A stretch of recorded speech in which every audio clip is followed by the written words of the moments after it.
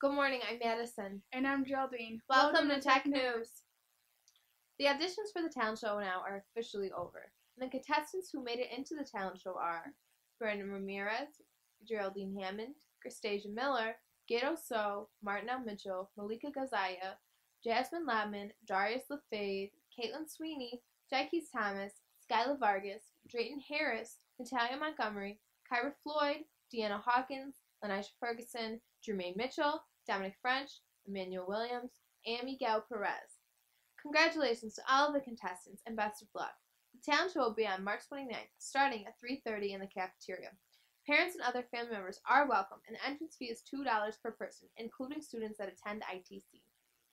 In an effort to show her students the positive impact that they can have with their art pieces, Ms. Teeter has decided to lead her students of all grade levels in a monthly project to prove that art really does have an impact on everyday lives.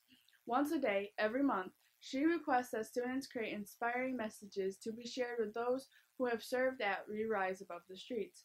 Students each complete six positive notes of love and encouragement, which are cut up and put into bagged lunches that are distributed to those in need around the school.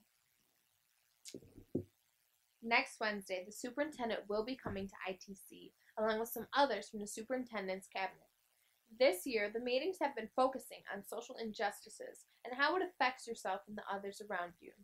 All of the city schools will be meeting here to present their choice of social injustice. From the storm last week, we used our last two snow days. We had a total of five to use, but we have used them all.